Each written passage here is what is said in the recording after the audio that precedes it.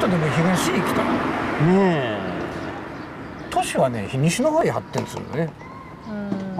都市っていうのは西の方にだんだん広がっていく都市は発展する都市だっていうよね。ああの東でないかもしれない西かもしれないなと僕思いながら聞いてましたけどね、うん。まあでもね、より一人の方ね多くでも方にしてもらいたいっていうのはまあね、ねそうですよあね。やっぱり都に行きたいっていうね。戦国の武将でもそうでしたからね。なるほど。やっぱり京都へ京都へ京都へってあの時それでみんなわーっと陣地を広げていくわけですから。思いは一緒ですよ。ね。うんそうだよね、うん、まあ思いは一緒だ、思います。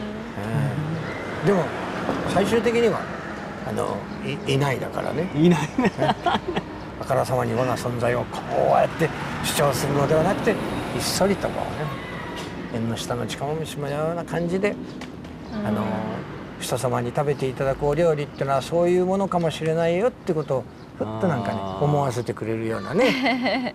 なもうそういうことでありまし